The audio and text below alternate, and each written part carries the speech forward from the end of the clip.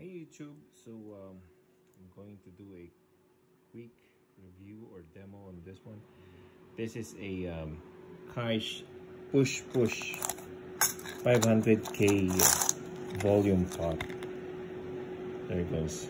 That's Kaish Push Push 500k volume pot. What it it will do is just push, push, push, push, just to coil split or uh, coil split the um, neck.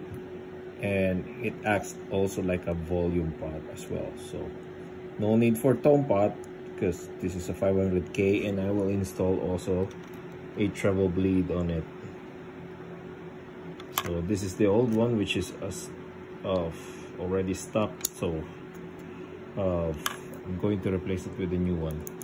This is the best one of the best uh, push push coil split um, potentiometer. Even better than push pull pot.